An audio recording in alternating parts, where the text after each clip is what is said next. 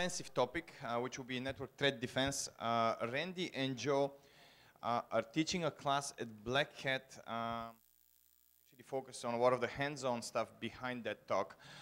And they will be creating a small lab downstairs. So if you would like to follow up on the talk and just work with them uh, through some of the exercises, uh, just you know congregate in this area, and then everybody will go downstairs and you SSH into the routers and play with them. Um, and the, this is it, Randy. Thanks, Cressy. I just want to thank BayThreat for giving us the opportunity to present in a bar with beer at 10 in the morning. This is awesome. So we figure uh, our presentation can't be that bad because y'all have beer. Well, who has beer right now? Well, coffee, beer. So uh, yeah, we're ambidextrous that way. So anyway, uh, we're in the uh, breaking security track. So what we're going to do is just give you a quick overview of what we're showing network operators so that they can furiously clean up after you as you're breaking stuff, or hopefully to be proactive and make it so that you have a much harder time breaking stuff. So, quick agenda. We're going to talk a little bit about how things are out in the world, some of the threats we see against IP networks, and some other stuff. So, how many of you run networks? Know people who run networks? A few of you. And uh, by the way, Cressy gave us extra drink tickets. If you ask questions, we'll hook you up. So, uh, where we're at for network security. Um, well, first off, it's a jungle out there, as I'm sure many of you are aware of. Uh, one thing we've noticed quite frequently, and our customers run into this hopefully before the problem, but sometimes during or after, is that having a firewall and an antivirus does not equal network security. Um, despite what uh, marketing and sales may tell us, it's not really something you can buy in a box that's shrink wrapped. Uh, technology definitely helps, but your policy operations and how you design your networks is absolutely critical. So one thing we like to point out to our network operators is that you should strive for operational simplicity.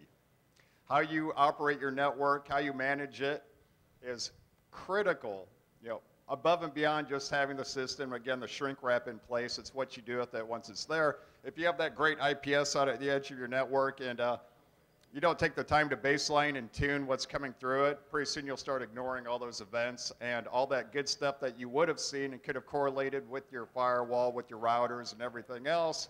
Yeah, you're not even seeing it anymore. So uh, moving on to some of the different types of threats we see out there. Uh, this is just to help operators understand, you know, you know, one, they know it's a jungle, but you know, what the different animals and you know, dangerous plants are in that uh, jungle. Uh, are any of you familiar with CVSS, Common Vulnerability Scoring System? Excellent.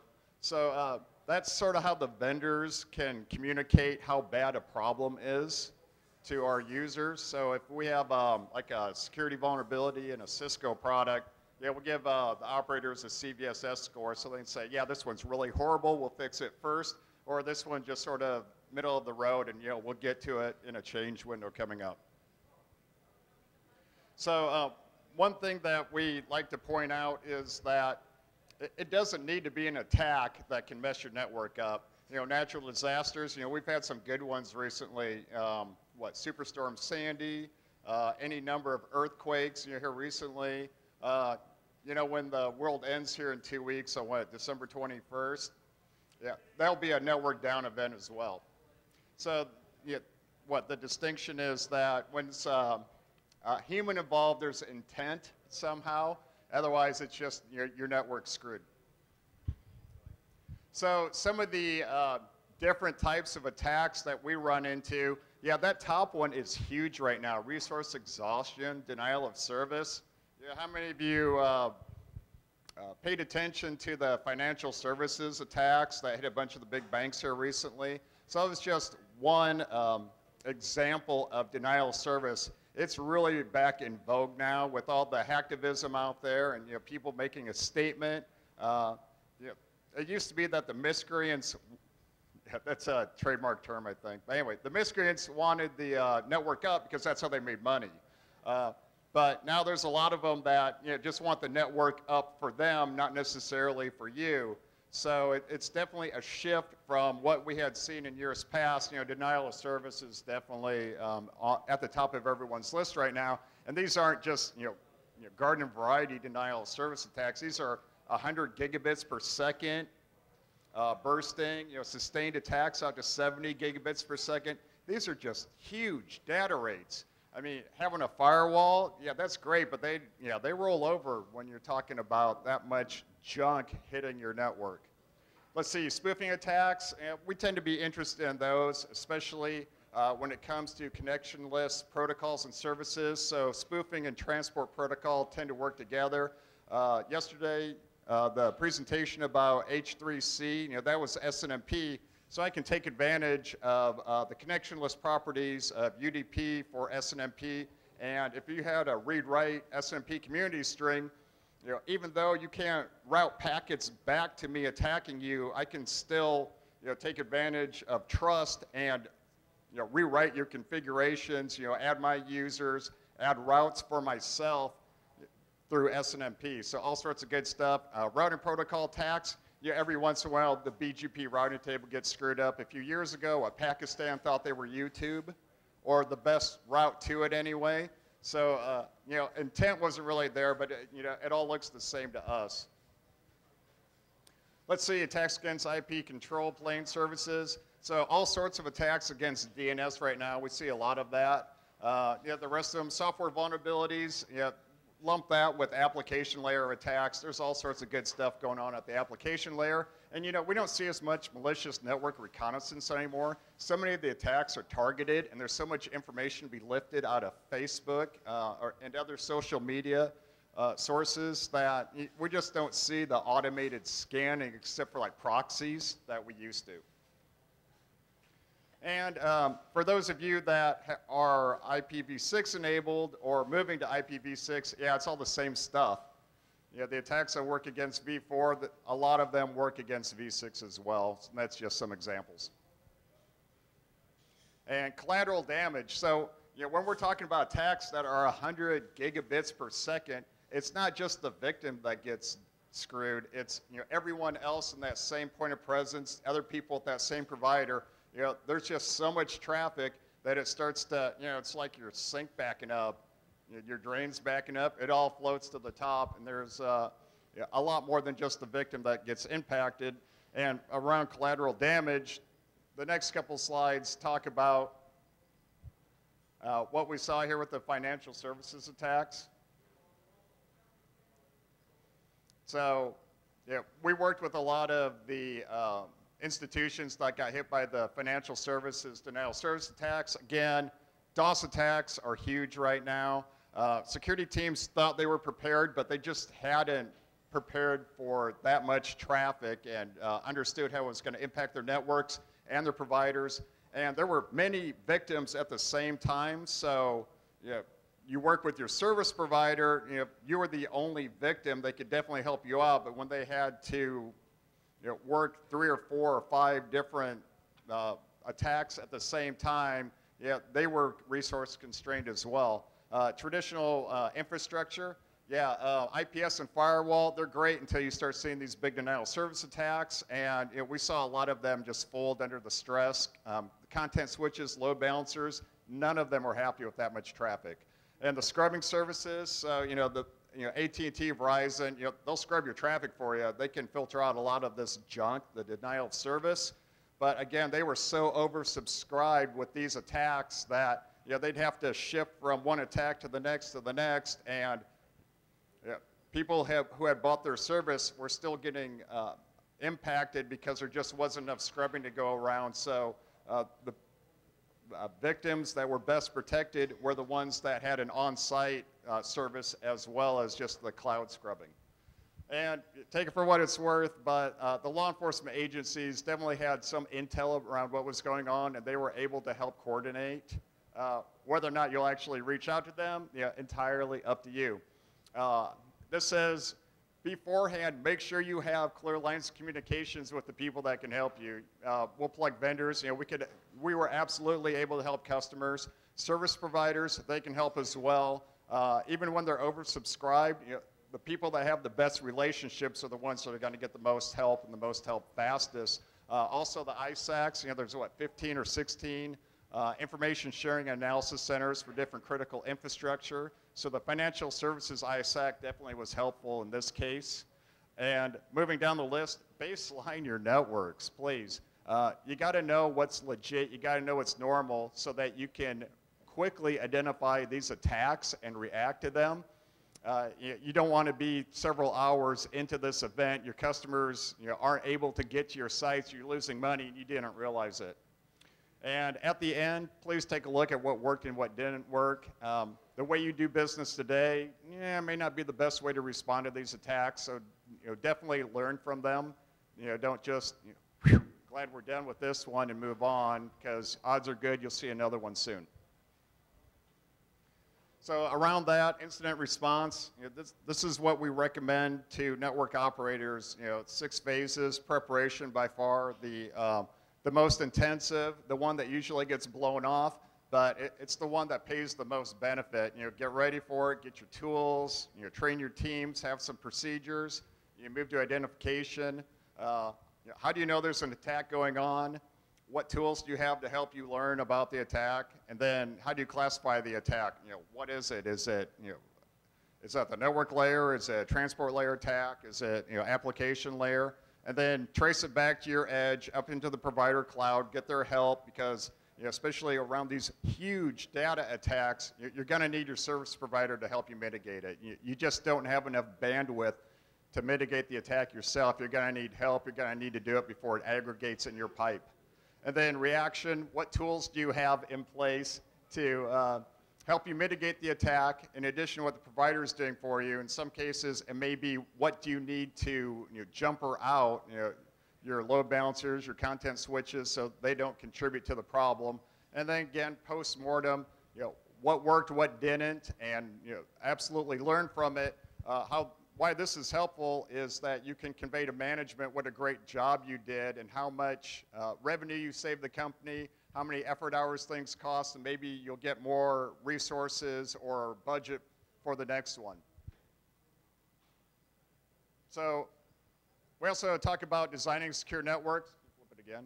So we look at it from a couple different perspectives. First off is um, how you interact with the rest of the, uh, the internet. You know, make sure you've got your routing in place, your uh, DNS. Then look at how you deploy your services so that they're resilient uh, so that you've got uh, redundancy so you can handle these big attacks. And then how do you harden the individual devices to buy you time to react to the attack? You know, buy yourself a few minutes, the device can stay up and working even under heavy loads.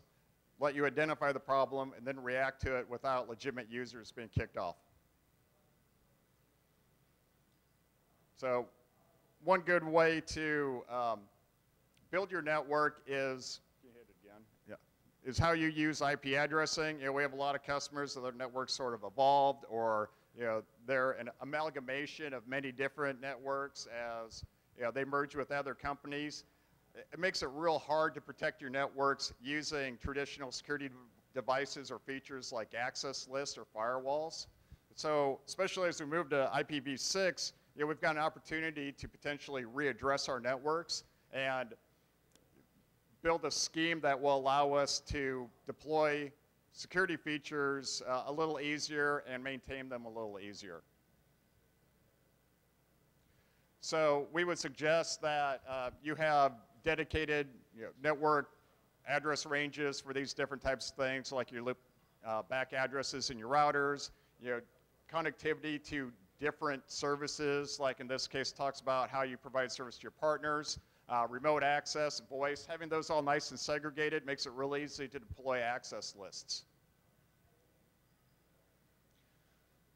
And yeah, we can um, use the features to sort of work around some of this, but it gets to be um, it gets to be interesting, especially three or four months after you've deployed the feature, and you're troubleshooting a problem and you're looking at that access list and you're just, what the heck is that wildcard mask doing here?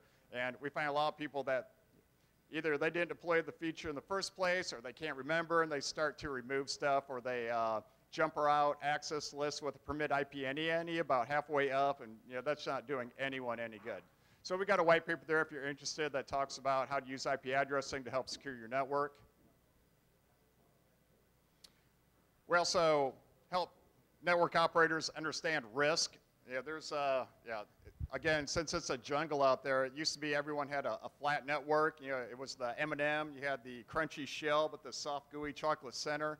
Well, nowadays, especially if the targeted threats, we absolutely need to deploy security all through the network. So we talk about security domains. You should have a policy for each of these domains, and then you can start to segment them and uh, look at security features that separate different internal domains as well. So just some examples, you know, on the far left, yeah, between public and private, yeah, a lot of risk there. It's a very street, very steep risk gradient. So this is where you'd have all your uh, advanced security features, call it, you know, firewall, uh, deep packet inspection, flow inspection, IPS, all that good stuff. Uh, next one, it's internals between production and lab. You should still have safeguards. Maybe it's just an access list and some monitoring. And then on the far right, especially as we move to these um, uh, where you're doing more of your branch type operations over the internet, you probably see a lot of safeguards both at your uh, campus side and at the remote side as well. And then in between, you've got to worry about how you secure your data in transit. And this just, uh, you hit it again. It's just um, a representation of what these networks start to look like. Um, I love the colors, especially the bright red internet. But as you can see there, between the campus and the internet, you've got your firewalls, you've got your IPS, and then uh, on the internal side, you've still got safeguards in place because you know, as the uh, attackers get into your network and they start rifling around looking for stuff, you want to have some way of keeping them off of your financial uh, servers, out of your development labs, all that good stuff. You need to find, you need to make sure that you have services in place to catch them. And there's a whole lot of different uh, security features that can be deployed, both if you're in a traditional enterprise type network as well as uh, if you're acting more of a, uh, a service provider for you know, your customers. So with that, we're going to talk about some of the security features that we can deploy on individual devices. Um, hardening them is absolutely critical. It just it buys you time. It, uh, it keeps the low-level riffraff off your network, and we're going to use this information in the lab as well. So if you'd like, if you have your laptops and if you have a SSL VPN, we've got a, a, lab back on one of our campuses that, you know, we've got attack traffic running through it, we've got routers, we've got firewalls, there's a couple different attacks. Uh, we'll give you an opportunity to identify the attack and to mitigate it if you'd like. With that, I'm going to turn it over to my colleague, Joe Karpenko. Good morning. So what we're going to cover here real quickly is just uh, what our perspective is from a, a, device that's in transit of the data path of traffic is three different planes.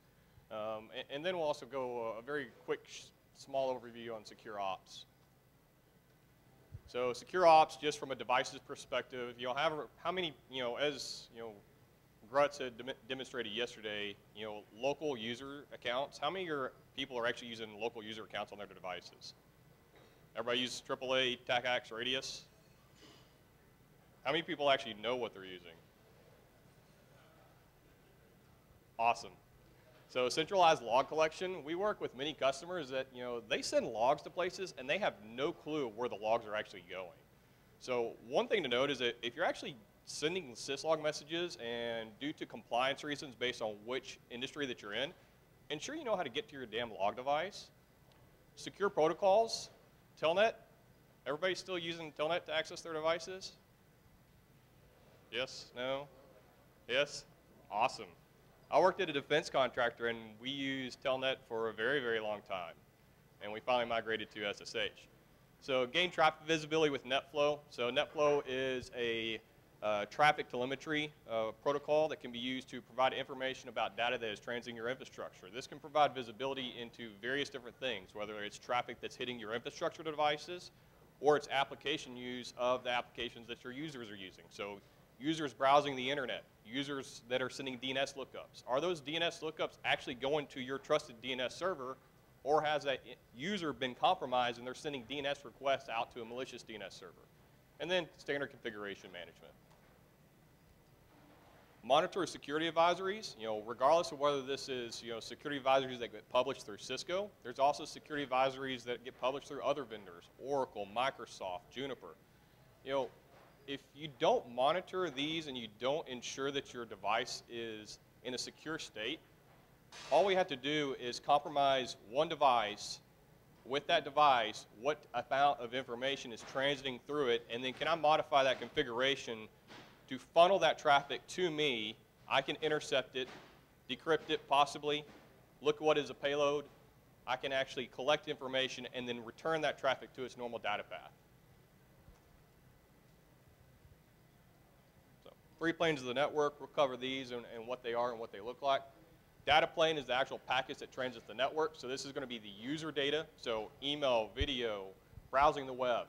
The control plane, the control plane is what stitches our information together on the devices. How do my devices know how to route traffic? They use a routing protocol. So it's very similar to the roadways. What happens if there is a wreck or there is a, a bridge that's down? You have to reroute that traffic. Our control plane, that is composed of our routing protocols. If our routing protocols detect a fault tolerant fault, they will reroute that traffic. That ensures that packets get end to end. In management plane, this is actually the protocols that make up being able to monitor and manage a device. That's going to be SSH, SNMP, syslog, things of that nature. So in this case, at the very bottom, we can see the data plane. This is the fastest path through the device. Packet comes in, it gets looked up, and it gets automatically switched out to the next interface. The control plane, this is a little bit different because the control plane is traffic that comes to me. So if I am a routing protocol, I actually have to process traffic that I'm receiving being advertised from, say, my BGP peering neighbor. Or if it's uh, an OSPF device that I'm receiving routes from. That traffic gets punted up to the route processor. The route processor, processor meaning this traffic is going to be process switched. So they get punted up to the RP. Additionally, you can see ARP. So in IPv4, what happens if ARP breaks? Can you get anywhere? Can't get to the next hop. IPv6, if neighbor discovery protocol, if that breaks, it's the same thing. So we need to ensure that that's up and operational. Management plane is mentioned. We have Telnet, SSH. The, the key difference here is that these planes provide different functions. Both traffic gets punted up to the route processor. So while the traffic gets punted up to the route processor, we have two different functions here. One is for management of the device. One thing to note is if our control plane is down, our data plane is most likely going to be down unless we're able to actually route around an alternate path. So the management plane and the data plane are dependent on the control plane. So on to attack identification. So NBA network behavioral analysis, you know, how, how many people actually know what's on their network? Because I know quite a few of the financials that we worked with, they had no clue what was on their network. And that can be pretty scary. So I'm just curious, does everybody know what the baseline of their network is? I mean, we had several operators raise their hands and, yeah, I'm an operator, but do you actually know what's running on your network? Any raise their hands now? One? How many of you have friends that don't know what's running on their network? So the key here is to baseline your network traffic and be able to segregate it out to understand, you know, what's email? What is, what, what is the proportion of this is email? What's the proportion that's DNS? What's the proportion that's web traffic? You know, what is other critical applications that are Im imperative to the operation of my business? If you don't baseline the, the, these traffic flows, how do you know when there is a deviation from them? How do you know when there's a potential attack or some type of, you know, uh, abnormal, you know, malicious potential activity that's going on. You don't. So we have Cisco IOS NetFlow. It's a technology that's been around forever. You know, essentially the, the, easiest way to look at this is it's very similar to a phone bill. So with a phone bill, you have two parties. You have what the source and destination is. You know how long the conversation was. And that's pretty much it. NetFlow goes a little bit more. It gives you actually, you know, how much of that conversation, so how many packets, how many bytes were transferred, things of that nature. So it's definitely not like a wiretap, so you have no idea what was actually discussed within that conversation, but you do get a macro high-level overview of what was actually what actually occurred between two endpoints. So just from a you know export perspective, when we look at the devices within our network, they're essentially like sensors. Sensors being I can collect this information, and then from those sensors I export them out to collectors. You know, depending on you know what type of architecture you have, down at the bottom, you know, there's many different you know vendors, but you'll have consoles. What will happen is that these collectors will aggregate the information and push it up through the console, and then you'll get a, a holistic overview of all the data that's sent to multiple collectors. Those are various different versions. The most commonly one is going to be V5, and we'll go over the actual type of information that's exported within the V5 records themselves. And then some of the newer ones, you know, down at the bottom, most notably V9, it's uh, flexible, so it gives us the ability to customize the type of information that I'm going to export. Uh, and then there's also going to be flexible NetFlow. Right, so you can actually get multicast flow information. You can actually export section of packets if you'd like to export sections of packets. You can get information about, BGP next, next hops. Uh, various very interesting pieces of information that you can get depending on what type of environment your network's at your network's you know, operating. So from a V5 NetFlow export, we have the, byte, the packet count and byte count. So for a specific conversation, this gives us how many packets. So for DNS, ideally, I mean, we're looking at two packets. You got your request, you have your response. Pretty simple. For a TCP transaction on an, on an HTTP GET fetch, that's going to be a little bit more, and it depends on whether it's going to be a persistent connection or not. The device's uptime so if your device has a incorrect time, it's going to skew your ability to actually correlate this information with, say, NetFlow or syslog messages. Could be web logs, IPS alerts, things of that nature. It gives you your interfaces on the device. This could be very useful, especially from a traceback perspective, because if you have spoof traffic that's being received by a device, this allows you to trace the source of that traffic on which interface it was received on. Does that make sense? No? Yes? So here's a traditional flow, and uh, the actual key fields are required to create a unique new flow. So we have the address pairs, the port pairs, TOS, layer 3 protocol, and the input interface. Uh, once uh, those values, if those values change, whether it's a source port, destination port, TOS value, or an interface, a new flow will actually be created within the flow cache. And then once the flow terminate, terminates, that information will be exported out to your flow collector. How do you configure it? Two commands. That's it. So on an interface, you just do IP flow ingress, and then to export this data to a flow collector, you just do that one, one command line. And one thing to note is within each export packet, you're getting information anywhere between 20 to 50 flows. So when we think about this, when you, we look at like a packet capture, a packet capture, if you're actually sniffing the wire and getting the full payload, that's potentially up to 1,500 bytes, and that's just one single packet. So that's not even the full conversation. With an export, you can actually get information about the full conversation within a single export, and not only that, but multiple conversations. So again, it's that, ma that macro level overview rather than that micro level overview. This is the onboard cache of a device. So if you, once you've enabled NetFlow, you can do the show IP cache flow, and within the output of this device, it gives you, again, the source interface. So if some traffic's being spoofed, you know how to perform a traceback. Or if I know a user, if I'm looking for where is a user that's performing malicious activity, I can go to that source interface and then see, you know, what is maybe the next hop that they're going to. Destination address. It actually gives you also the protocol, source port, and destination port.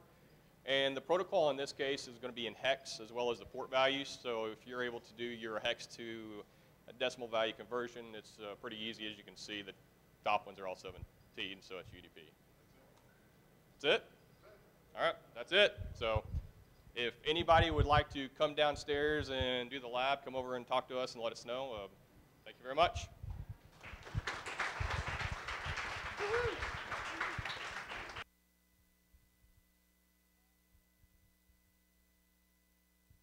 Check, check. And so we do have a couple minutes for questions, right? Yeah, okay. So if anybody has a question, um, no questions? Oh, here's one. Uh, so when you're talking about uh, doing NetFlow collection from all of your sensors there, is that sampled NetFlow or is that full NetFlow? That's a good question. It, it, so one, one to one, it depends on where you're going to deploy it at. Uh, so uh, if you're wanting to get one to one, that will give you more of a forensics level overview. But like within your core, within your core, depending on the high speed links that you have, I mean, if you have 10 gig links, I mean, you're ideally not going to want to see every single one to one flow. So you'll actually do sample NetFlow in that case. So instead of you know collecting you know one to one, you'll do one in uh, one in 1,000 or one in 10,000 flows, and you get you know have to extrapolate a little bit on, on, on the core. But yes, good question. Just a reminder, you do get a drink ticket for asking a question. Any other questions? no? Oh, come on. He's got, what, four or five drink tickets left? Come on, people. Yeah, I know it's a little early in the morning for this stuff, so if you want to hold your questions, we'll be here drinking all day. So thank you very much. And thank you for coming. I